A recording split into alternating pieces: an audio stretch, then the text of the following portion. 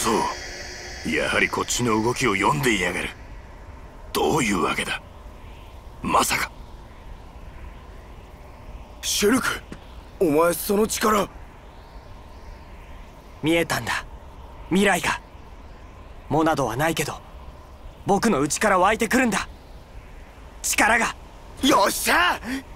そうと分かれば怖いもんはないぜ。ち面白くもねえ。おいいつまでそっちにいるんだよ。俺だけに押し付けるってのは納得いかねえな。アルビース。アルビースだと？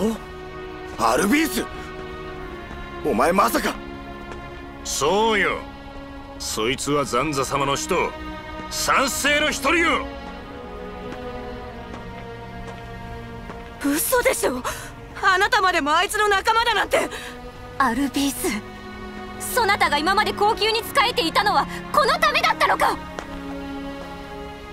おいなんとか言えよ。シュルク。いいんだ。